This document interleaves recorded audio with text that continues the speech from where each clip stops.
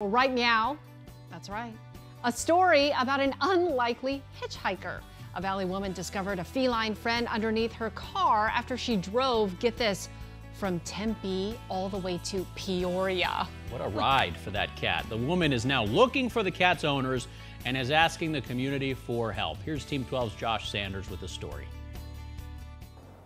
It's a very curious cat. Meet Hitch, or at least that's what Allie Demore is calling this perfect stowaway she found underneath her car when she got to work Wednesday morning.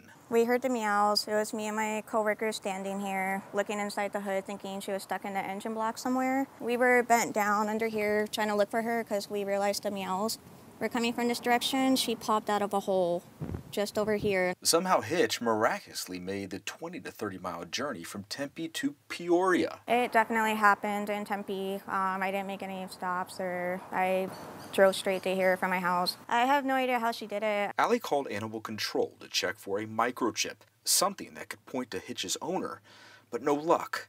She posted to Facebook asking the community for help. She was wearing a collar, so I know she's somebody's baby. I'm planning on doing flyers uh, later this evening when I get home.